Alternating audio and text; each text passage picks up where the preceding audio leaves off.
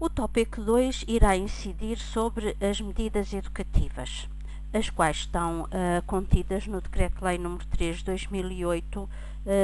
e uh, que veio a ser depois explanado no Manual de Apoio à Prática que foi distribuído às escolas e que se encontra também disponível como recurso neste,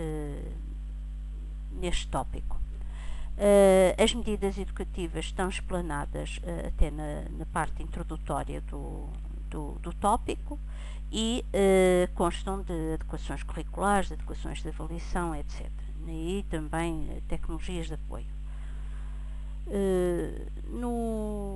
ligado também à questão da, das medidas educativas, encontra-se a questão da referenciação dos alunos elegíveis à educação especial, utilizando o instrumento de classificação internacional de funcionalidade, que também é outro recurso que se encontra disponível no tópico e convirá a, re, a relembrar.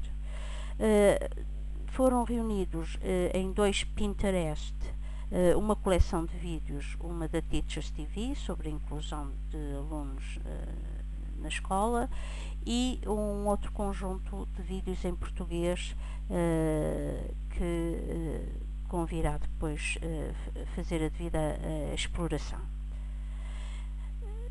do, haverá uma referência aos modelos de apoio na medida em que uh, as escolas, uh, a inclusão dos alunos com necessidades educativas especiais de caráter permanente implicou a criação de alguns serviços de apoio dentro das escolas, nomeadamente unidades de multideficiência, unidades de apoio estruturadas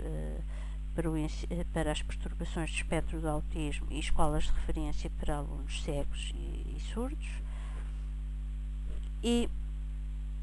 temos uh, não só através dos, uh, dos vídeos uh, que estão reunidos no Pinterest vários exemplos de inclusão